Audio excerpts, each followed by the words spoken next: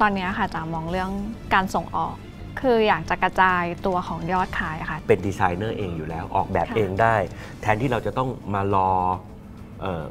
คนออเดอร์แล้วค่ะอาจจะลองเป็นการ test ทำขึ้นมาสักเออไม่กี่ชิ้น แล้วลองไปดูซิว่ามันได้รับความนิยมไหม อันนี้เอ่อกระเป๋าใส่พาสปอร์ต พาสปอร์ตอ๋อค่ะครับ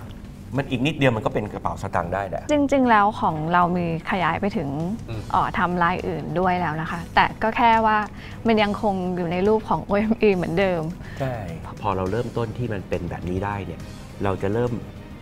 พัฒนาตัวเองขึ้นมาเป็นเจ้าของแบรนด์เจ้าของดีไซน์แล้ว ค่ะ เราสามารถที่จะก้าวต่อไปได้ Thailand 4.0 ครับ รัฐบาลเขาก็บอกค่ะ นวัตกรรมอืมครีเอทีฟทั้งหลายเนี่ยมันจะกลายมาเป็น step ที่เราจะได้จะได้มูลค่าของสินค้าเพิ่มขึ้น